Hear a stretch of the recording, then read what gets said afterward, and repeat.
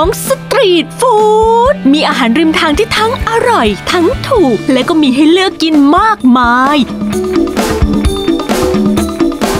ขายกันตั้งแต่เช้าจะรดค่ำค่ำจะรดเช้า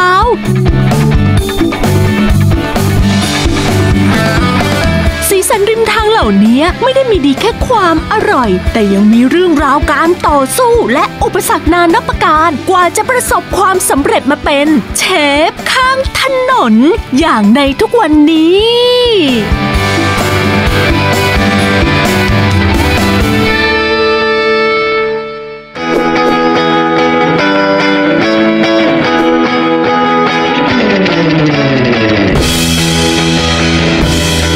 ครับคุณผู้ชมครับ เจอกันเป็นประจำเหมือนเช่นเคยนะครับในรายการเชฟข้างถนน รายการที่จะพาคุณไปอร่อยริมทาง แล้วอิ่มกลับบ้านพร้อมกับแรงบันดาลใจ กับผมจอห์นสันมาเฟียฟุตบาทมาทะเลนค่ะ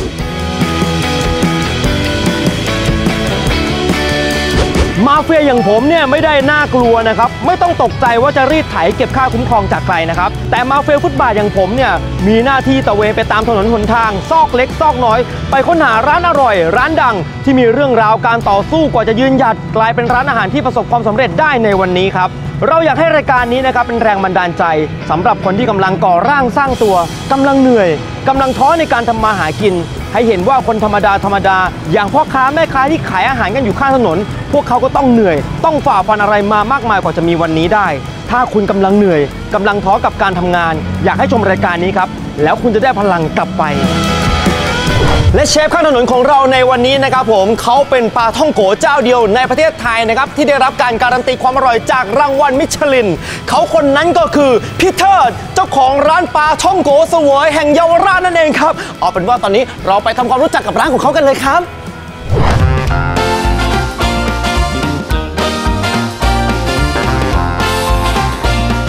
ปลาท่องโกร้อนๆจ้าปลาท่องโกร้อนๆ ทอดกันร้อนๆ น้ำมันทุ่วมๆ กระทะใบโตๆแบบนี้ ร้านนี้เลยค่ะ ร้านป่าท่องโกเสวยเยาวราช ร้านรถเข็นเล็กๆ แต่ความอร่อยเนี่ยลอยไปไกลระดับโลกเลยล่ะค่ะคุณขาเพราะว่าติดอยู่ในมิชลินไกด์แบงคอก 2018แล้วค่ะ ฝรั่งเขาให้เครดิต ยกให้เป็นปลาท่องโกที่อร่อยที่สุดในกรุงเทพร้านปาท่องโกเสวยเยาวราชร้านนี้เป็นร้านเก่าแก่ ที่เปิดขายมายาวนาน 20 กว่าปีแล้ว ซึ่งภาพที่เห็นและคุ้นเคยกันดีก็คือ เฮียเทิดเจ้าของร้าน ยืนนวดแป้ง หั่นแป้ง แล้วก็ทอดแป้งทำให้เห็นว่าสดใหม่ทุกขั้นตอน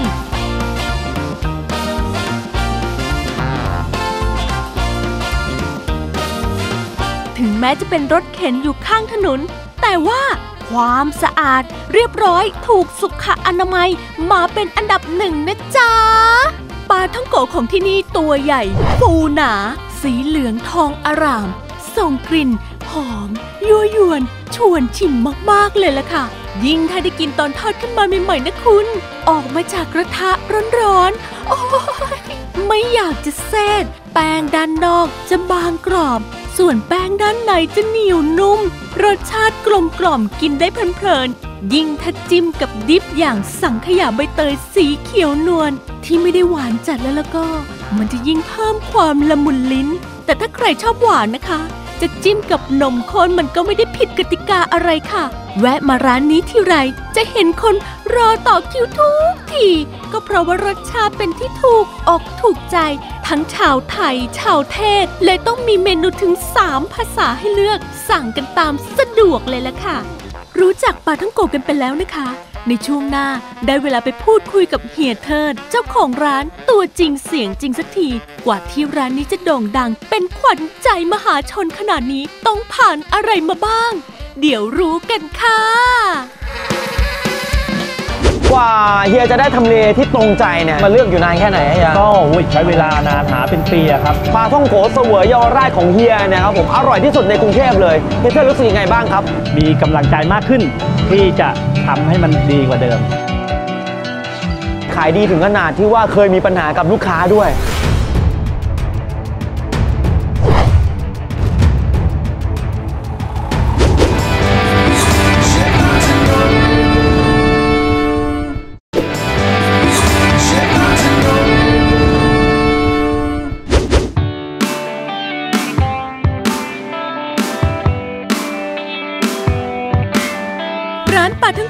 มีมิชลินไกด์ยกย่องว่าอร่อยที่สุดในกรุงเทพมหานคร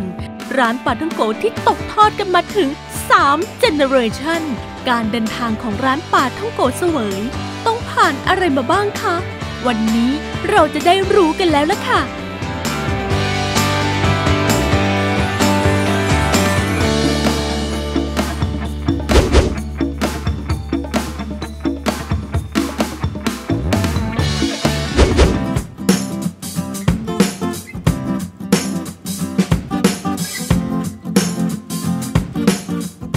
วัสดีครับเฮียเทิดครัสบวัสดีครับ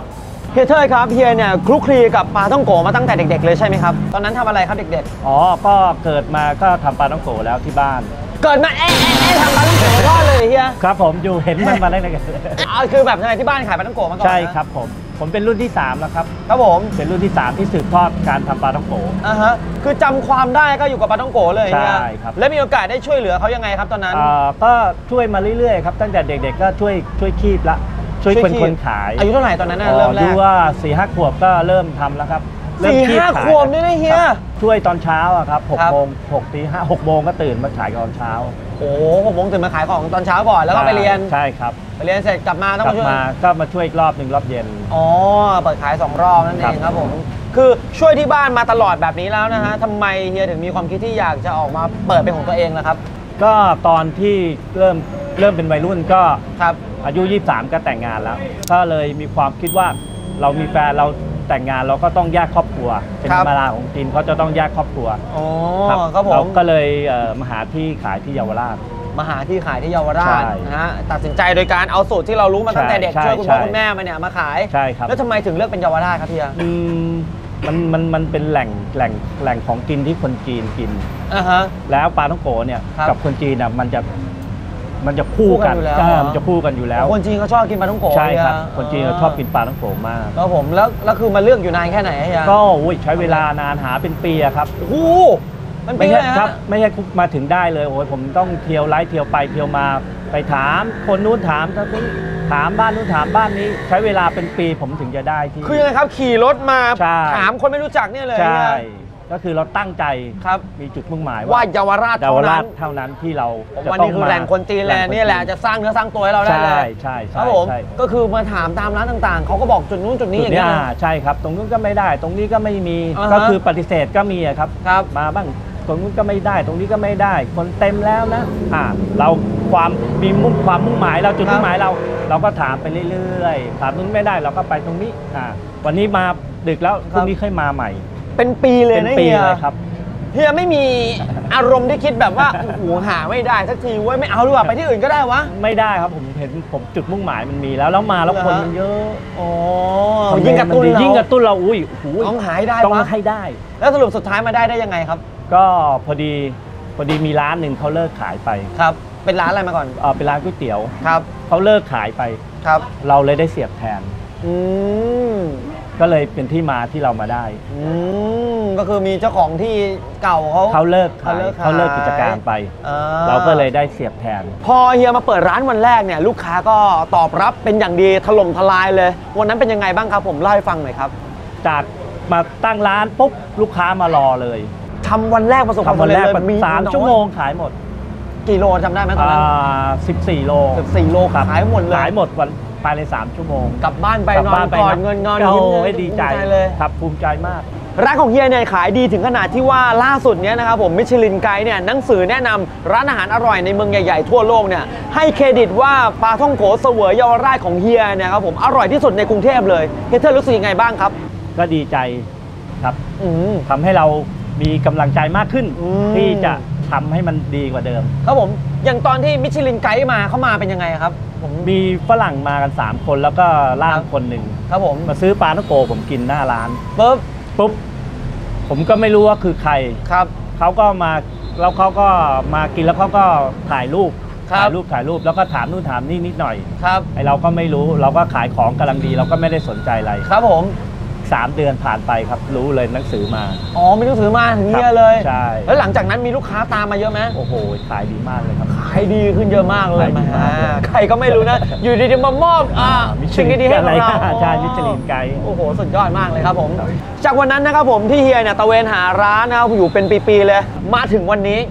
ร้านของเฮียถือได้ว่าประสบความสำเร็จเป็นอย่างมากเลยครับผมเฮียรู้สึกยังไงบ้างครับ รู้สึกดีใจที่เราเลือกทำเลที่ถูก ครับแล้วก็เอาปาท่องโก๋มาลงถูกฮะ ที่ถูกทางถูกเวลา อ๋อมันเลยทำให้เราประสบความสำเร็จได้ ก็ก็คือย้อนกลับไปก็คือการตัดสินใจของเราในใช่วันนั้นช่ตัดสินใจได้ถูกต้องแล้วใช่ไหมฮะใช่ครับ แล้วเฮียเทอร์คิดว่าเพราะอะไรครับที่ทำให้ร้านปาท่องโก๋ของเฮียเทอร์เนี่ยประสบความสำเร็จได้ขนาดนี้ครับอืมผมใส่ใจทุกรายละเอียดในการทำงาน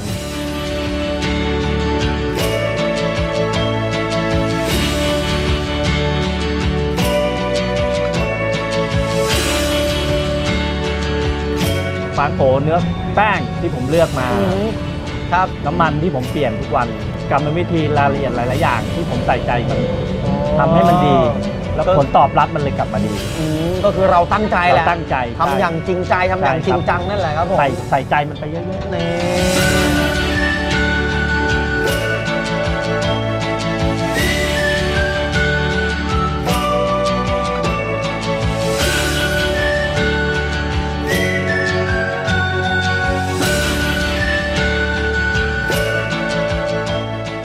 กิดว่าตอนนี้นะฮะมีคนที่กำลังท้อแท้นะเพราะว่ายังตั้งตัวไม่ได้สักทีนะครับผมเฮียเทอร์อยากจะแนะนำคนเหล่านั้นยังไงบ้างครับๆผมจะแนะนำว่าคนเรามีจุดมุ่งหมายไว้ก่อนครับ เราตั้งใจอะไรไว้ครับ แล้วพยายามครับ พยายามพยายามทำให้มันไปให้มันไปถึงจุดมุ่งหมายที่เราตั้งไว้อ่าเหมือนผมที่ผมตั้งใจว่าจะมาลงที่เยาวราชครับ แล้วผมก็สามารถทำได้นี่แล้วผมทำได้มาถึงทุกวันนี้ ครับ ซึ่งก็ถือว่าประสบความสำเร็จณณจุดจุดหนึ่งครับผมก็ก็เป็นกำลังใจให้ทุกคนนะครับ ที่เริ่มที่จะตั้งตัว จะได้เหมือนผมว่าผมก็เคยเริ่มตั้งตัวมาก่อน ครับ มาถึงวันนี้ผมก็เริ่มประสบความสำเร็จจุดจุดหนึ่งแล้ว ถ้าเกิดว่าตอนนี้นะครับมีคนที่กำลังดูรายการอยู่นะครับผมเห็นเฮียเทอร์เนี่ยเป็นเหมือนแรงบันดาลใจสำหรับเขาอยากจะเป็นพ่อค้าที่ประสบความสำเร็จได้แบบเฮียเทอร์บ้างเฮียเทอร์มีอะไรอยากจะบอกกับเขาบ้างครับ การทำงานทุกอย่างคนเรามันต้องตั้งใจจริง ครับ แล้วก็ใส่ใจใส่รายละเอียดกับมันทำให้มันดี ครับ ตั้งใจกับมันทำให้มันดีใส่รายละเอียดกับมัน อือฮึ ทุกขั้นตอน ครับ ก็เหมือนพ่อค้าทั่วทั่วๆไปอะครับ ครับ ถ้าขายของกิน เราก็อยากจะขายดี ครับแต่ว่าก่อนที่เราจะขายดีเราต้องตั้งใจทำกับมันให้ดีก่อน ม ใส่ทุกรายละเอียดขึ้นไป คุณผู้ชมครับถ้าเกิดว่าคุณอยากจะเป็นคนหนึ่งนะที่ประสบความสำเร็จได้อย่างเฮเทอร์นะครับผม ตามคำแนะนำของเฮียเทอร์เลยฮะนั่นก็คือเรื่องของการตั้งเป้าหมายนะฮะครับเราตั้งเป้าหมายแล้วเนี่ยเราต้องตั้งใจทุ่มเทแรงกายแรงใจนะทำมันอย่างเต็มที่ให้ไปถึงเป้าหมายที่เราตั้งไว้นะฮะจะล้มระหว่างทางกี่ครั้งเราก็ต้องลุกขึ้นมาสู้นะฮะผมเชื่อว่าถ้าคุณทำได้อย่างนั้นนะยังไงคุณก็ต้องประสบความสำเร็จได้อย่างเฮียเทอร์แน่นอนครับคุณผู้ชมครับ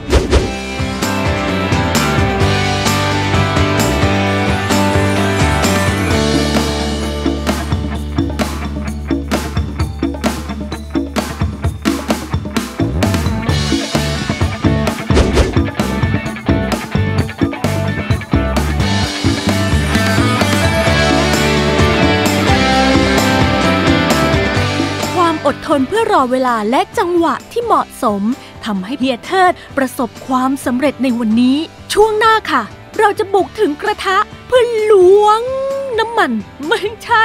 เพื่อล้วงความลับการทอดปลาท่องโก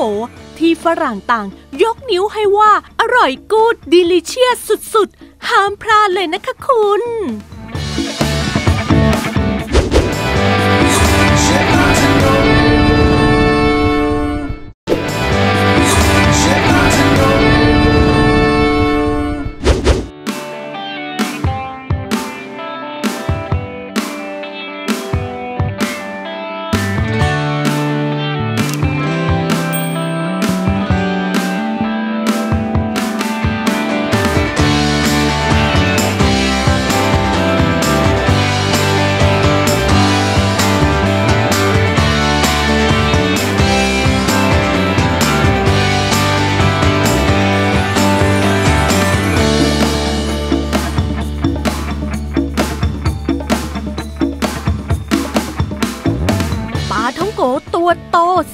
ทองทองที่ฝรั่งต่างยกนิ้วให้ เป็นปลาท่องโกที่อร่อยที่สุดในกรุงเทพ รสชาติที่ถูกปากทั้งคนไทยและต่างชาติ เขาทำกันยังไง ทอดกันแบบไหน วันนี้เราจะส่งมาเฟียฟุตบาทไปล้วงความลับถึงกระทะ หยิบปลาท่องโกออกมาเลยนะจ๊ะมาเฟียฟุตบาทจ๋าตามมาเลยครับคุณผู้ชมครับ อยู่นี่ฮะนี่ เดี๋ยววันนี้นะครับผมจะพาคุณผู้ชมนะฮะมาดูวิธีการทำนะครับถึงหน้าเตาของเฮียเลยว่ามันเด็ดยังไงนะครับผมมาเฮียเทยครับ ครับผม ผมถามเฮียนิดนึงว่าครับ เฮียคิดว่าอะไรครับที่มันเป็นจุดเด่นที่ทำให้ปลาท่องโขของเฮียเนี่ยได้รับคำแนะนำจากมิชลินไกด์ครับเออผมว่ามันอยู่ที่เนื้อแป้งครับ เนื้อแป้งฮะครับผมเนื้อแป้งของเฮียเป็นไงอะมันมันนุ่ม ผิวนุ่ม มันจะกรอบอ่าแต่พอเราเคี้ยวไปข้างในมันจะนุ่ม แล้วทำไมมันถึงนุ่มและกรอบอย่างนั้นได้อ๋อเฮียเฮียมีครับทีเด็ดยังไงอะมีทีเด็ดหลาย ๆ อย่างอย่างหนึ่งก็คือ เนื้อแป้งที่ผมเอามาผสมกันครับครับสองน้ำมันผมจะใหม่อ่าน้ำมันน้ำมันด้วยแล้ววิธีการทอด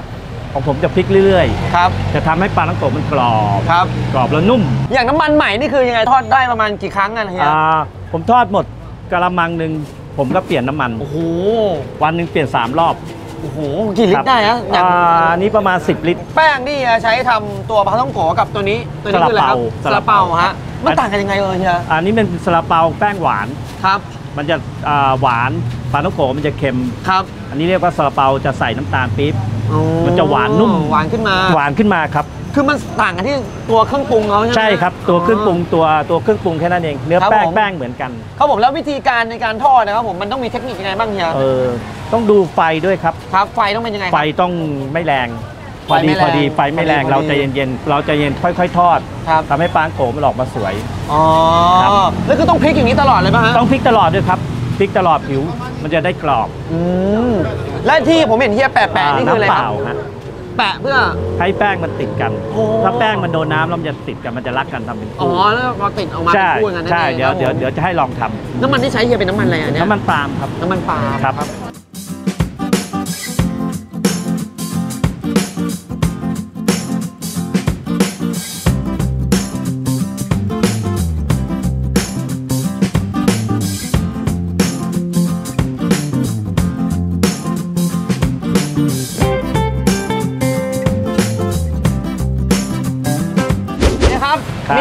ผมพอจะช่วยเฮียได้บ้างไหมครับตอนนี้ ลองช่วยลงปลาทั้งโกหน่อยดีกว่า ลงปลาต้องโกนะฮะได้เอาเลยมาอ่ทำไงครับอะจับคู่อะจัฮะบคู่ครับอ่าปุ๊บอ่าดึงยืดนิดนึงอ่าแล้วครับ ลงนี้อ่าเบาๆเออนั่นแหละอะครับ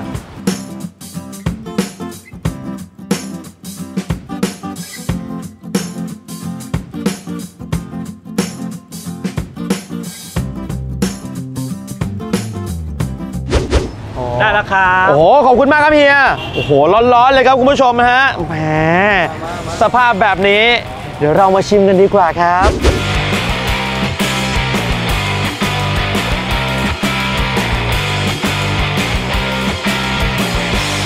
อ้าวโห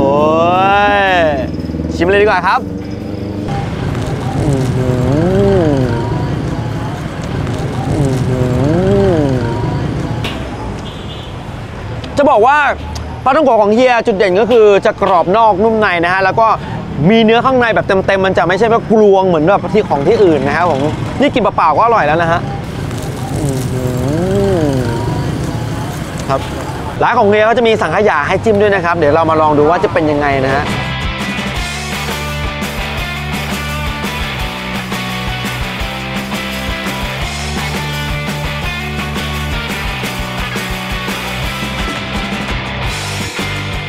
คุณผู้ชมครับพอเราจิ้มสังขยาใบเตยแล้วเนี่ยนะฮะมันจะมีความหอมของกลิ่นใบเตยขึ้นมาประทะจมูกนะครับผมแล้วก็มันไม่หวานจนเกินไปทานได้เรื่อยๆเลยครับไม่เลี่ยนครับเพราะว่าและตัว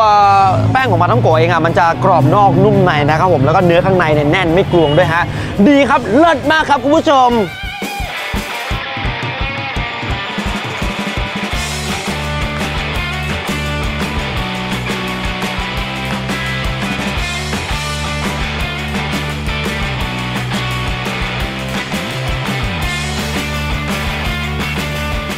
สำหรับใครนะครับผมที่อยากจะตามรอยรายการเชฟข้างถนนนะฮะมากินพาท่องโกสวยที่แสนอร่อยแบบนี้นะครับมาได้เลยนะอยู่ที่เยาวราชครับผมตรงแยกเฉลิมบุรีนะครับผมร้านจะเปิดตั้งแต่6โมงเย็นจนถึงเที่ยงคืนเลยครับรับรองว่ากินแล้วอร่อยลืมโลกไปเลยครับคุณผู้ชม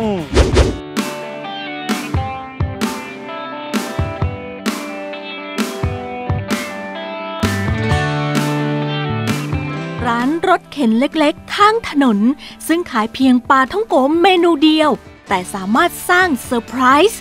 ซึ่งแม้แต่พัตตาคารใหญ่ๆ ก็ยังทำไม่ได้ กับการเป็นที่ยอมรับและการันตี ความอร่อยระดับโลก วิสัยทัศน์เป็นสิ่งสำคัญค่ะ แต่การตั้งใจทำทุกอย่างให้ดีที่สุดสำคัญยิ่งกว่าค่ะ เหมือนที่ร้านปลาท่องโกเสวยเยาวราชทำได้ เฮียเทิด เชฟข้างถนนของเราในวันนี้ค่ะ